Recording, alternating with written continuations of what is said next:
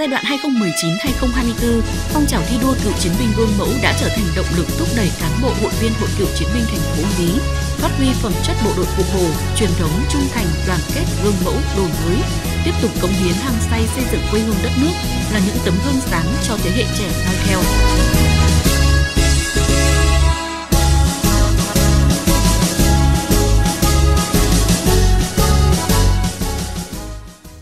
Hội Cựu chiến binh thành phố hiện có 5.219 hội viên sinh hoạt tại 150 chi hội.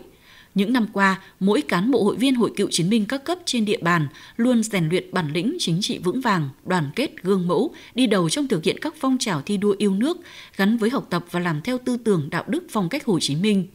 Các phong trào cuộc vận động do Trung ương và địa phương phát động – Bên cạnh đó, hội không ngừng đổi mới nội dung phương thức hoạt động, xây dựng tổ chức hội vững mạnh, nhất là thực hiện thắng lợi nhiệm vụ xây dựng bảo vệ Đảng, chính quyền, bảo vệ nhân dân, giữ vững ổn định chính trị, trật tự an toàn xã hội ở địa phương. Hội hiện có 1.476 hội viên là đảng viên, 185 đồng chí tham gia công tác đảng, 21 đồng chí tham gia Hội đồng Nhân dân các cấp, 75 đồng chí tham gia công tác chính quyền, 127 đồng chí tham gia công tác mặt trận Tổ quốc và các đoàn thể, 37 đồng chí là bí thư thôn khu trưởng, 516 đồng chí tham gia vào các tổ tự quản về an ninh trật tự, an ninh cơ sở. Dù đảm nhận vị trí công tác nào, cán bộ hội viên Hội Cựu Chiến binh thành phố cũng luôn nỗ lực hoàn thành tốt nhiệm vụ được giao. 5 năm qua, Hội Cựu Chiến binh thành phố đã đoàn kết tập hợp các thế hệ cựu chiến binh, phát triển hội viên, xây dựng tổ chức hội vững mạnh toàn diện. Các cấp hội thường xuyên làm tốt công tác giáo dục chính trị tư tưởng cho cán bộ hội viên để cựu chiến binh nâng cao tinh thần cảnh giác cách mạng, hội đã phối hợp tham mưu tổ chức 45 lớp bồi dưỡng, tập huấn nghiệp vụ công tác cựu chiến binh và học lịch sử Đảng Cộng sản Việt Nam cho 562 đồng chí. Các cơ sở hội đã mở được 51 lớp cho trên 2.500 cán bộ hội viên tham gia tập huấn, bồi dưỡng nghiệp vụ, phối hợp tham mưu biên soạn cuốn lịch sử của Hội Cựu chiến binh thành phố 30 năm xây dựng và trưởng thành, tham gia thi tìm hiểu truyền thống 33 năm Hội Cựu chiến binh Việt Nam và Đại hội Cựu chiến binh Việt Nam lần thứ 7, nhiệm kỳ 2022-2027 hội đạt giải nhất toàn tỉnh, có một cá nhân đạt nhất toàn quốc. Các cấp hội đã có nhiều giải pháp nâng cao chất lượng hoạt động các cơ sở hội, thực hiện thắng lợi các nhiệm vụ được giao. Hàng năm, 100% hội cơ sở đạt vững mạnh, trong đó 22% cơ sở đạt vững mạnh xuất sắc, 100% chi hội vững mạnh, hội viên gương mẫu đạt trên 98%. Hội thường xuyên bổ sung kiện toàn các tổ chức cơ sở. Trong 5 năm, 150 chi hội phát triển được 488 hội viên, kiện toàn 73 đồng chí ban chấp hành của các cơ sở hội. Các cấp hội đã tổ chức tốt chương trình kế hoạch công tác kiểm tra giám sát thường xuyên đột xuất, qua đó góp phần đổi mới nội dung chất lượng sinh hoạt, xây dựng tổ chức hội vững mạnh. Trong 5 năm, hội đã trao 970 kỷ niệm trương cựu chiến binh Việt Nam cho các đồng chí đã có nhiều cống hiến trong công tác hội đẩy mạnh phong trào cựu chiến binh giúp nhau giảm nghèo, làm kinh tế giỏi, nâng cao đời sống, chăm lo bảo vệ quyền lợi ích chính đáng hợp pháp của cựu chiến binh. Những năm qua, Hội cựu chiến binh các cấp trên địa bàn đã tích cực tham gia vào các chương trình phát triển kinh tế của địa phương, phong trào xây dựng nông thôn mới, đô thị văn minh. Hội cựu chiến binh thành phố phối hợp chặt chẽ với Ngân hàng Chính sách Xã hội cho 384 hộ hội viên vay vốn với số dư hơn 24 tỷ đồng. Ngoài ra, các tổ chức hội đã đóng góp xây dựng quỹ hội với tổng số tiền trên 3 tỷ đồng từ nguồn quỹ cho hội viên vay phát triển kinh tế gia đình, cải thiện chất lượng đời sống. Ngoài việc tham gia các lớp tập huấn kiến thức, hội viên cựu chiến binh thành phố còn tích cực tham quan học tập các mô hình sản xuất kinh doanh trong và ngoài tỉnh, từ đó tiếp cận khoa học công nghệ trong trồng trọt, chăn nuôi, kinh nghiệm quản lý kinh tế, cách bảo quản chế biến tiêu thụ sản phẩm hàng hóa để linh hoạt áp dụng vào mô hình kinh tế của gia đình. Nhờ đó chất lượng đời sống của hội viên ngày càng được nâng lên, Năm 2019, toàn hội có 3 hộ nghèo, 6 hộ cận nghèo. Đến năm 2021 không còn hộ nghèo và cận nghèo, tỷ lệ hộ khá giàu ngày càng tăng. Vừa qua tôi đã được các cấp hội cựu chiến binh đã giúp đỡ cho tôi vay 100 triệu về tôi nuôi tôm thẻ chân trắng và tôm sú. Trong qua quá trình à, năm nay tôi cũng thu được một từ 100 đến 150 triệu. Ngoài ra những cái đồng vốn đấy tôi còn trồng các loại cây ăn quả nhờ có cái đồng vốn của cái là hội giúp đỡ tôi thì tôi cũng phát triển dần lên và đời sống của gia đình cũng tạm ổn định. Ngoài ra, năm 2020, Hội Cựu Chiến binh thành phố đã phối hợp với Hiệp hội Doanh nhân Cựu Chiến binh tỉnh Quảng Ninh, các cấp ngành để khảo sát thành lập Hội Doanh nhân Cựu Chiến binh thành phố với 25 hội viên. Hoạt động sản xuất kinh doanh dịch vụ của các doanh nghiệp của cựu chiến binh được duy trì khẳng định sự phát triển, góp phần tích cực vào tăng trưởng kinh tế địa phương. Tiêu biểu như công ty trách nhiệm hữu hạn thương mại kinh doanh tổng hợp Uông Bí, công ty trách nhiệm hữu hạn sinh vật cảnh Ngũ Phúc, công ty trách nhiệm hữu hạn Thành Minh. Tinh thần cựu chiến binh gương mẫu còn thể hiện ở nhiều việc làm tình nghĩa, ấm áp tình đồng chí, đồng đội,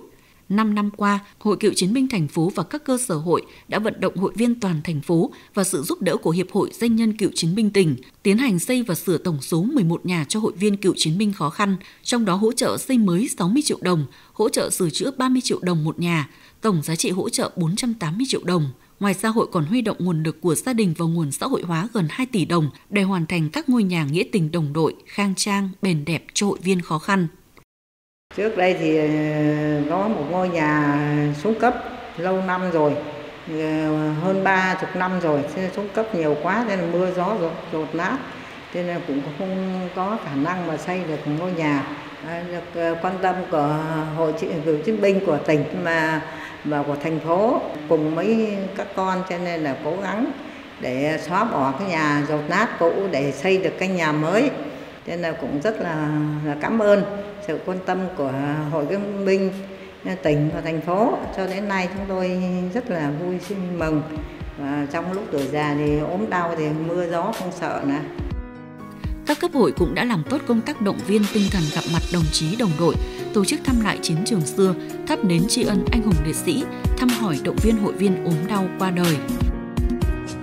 Tích cực tham gia giáo dục truyền thống yêu nước chủ nghĩa anh hùng cách mạng cho thế hệ trẻ, Giai đoạn 2019-2024, các cấp hội cựu chiến binh thành phố đã phối hợp tổ chức 312 buổi nói chuyện truyền thống cách mạng với trên 5.200 lượt thanh thiếu niên và học sinh sinh viên tham gia.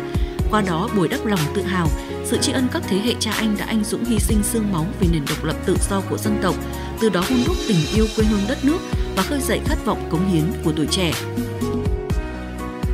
Hội cựu chiến binh các cấp trên địa bàn thành phố cũng phối hợp làm tốt công tác tuyên truyền giáo dục thanh niên khám tuyển nghĩa vụ quân sự, đón quân nhân hoàn thành nghĩa vụ trở về địa phương. Hàng năm, qua giao lưu tọa đàm tổ chức gặp mặt động viên các thanh niên chuẩn bị lên đường nhập ngũ. Đây là một nét mới của Uông Bí được hội cấp trên đánh giá cao, nhân rộng ra tỉnh và quân khu. Cùng với đó, hội đã phối hợp tiếp nhận thanh thiếu niên học sinh và sinh viên trong dịp hè, giáo dục đoàn viên ưu tú kết nạp đảng, tham gia củng cố các tổ chức đoàn ủng hộ giúp đỡ học sinh có hoàn cảnh khó khăn.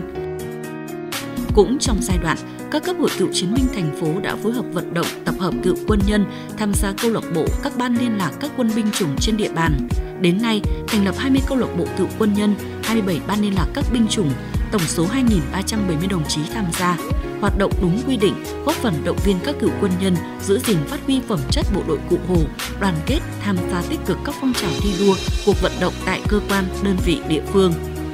Phong trào thi đua cựu chiến binh gương mẫu, tham gia các cuộc vận động phong trào của địa phương, cơ quan, đơn vị cũng được đẩy mạnh triển khai hiệu quả. Tiêu biểu là triển khai các mô hình cựu chiến binh tham gia làm nòng cốt tổ cựu chiến binh giữ gìn an ninh trật tự, cổng trường học bảo đảm an toàn giao thông, cựu chiến binh đảm nhiệm trông coi nhà văn hóa các thôn khu, đài tưởng niệm các liệt sĩ các xã phường, tham gia thắp sáng đường các thôn khu, đặc biệt thực hiện tốt công tác giải phóng mặt bằng để xây dựng cơ sở hạ tầng. 42 hộ cựu chiến binh đã hiến trên 1.900 mét vuông đất, tự nguyện phá rỡ nhiều vật công trình kiến trúc trị giá hơn 2 tỷ đồng để triển khai. Phát huy ờ, vai trò ờ, bản chất ờ, bộ đội cụ Hồ với chức năng là lực lượng nòng cốt